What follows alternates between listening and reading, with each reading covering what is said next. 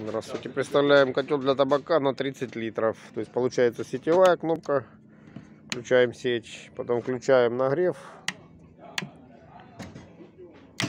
Мощность 4,5 киловатта. Мешалка получается работает либо в одну сторону. Крышка разбирается на две половинки. Мешалка работает либо в одну сторону, либо в другую. Ну, второпластовые скрипки соскребаются в стенах на котел с переворотом.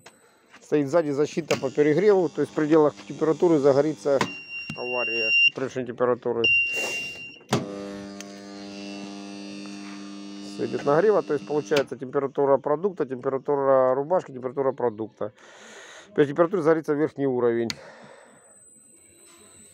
Ну, все, котел готов к работе.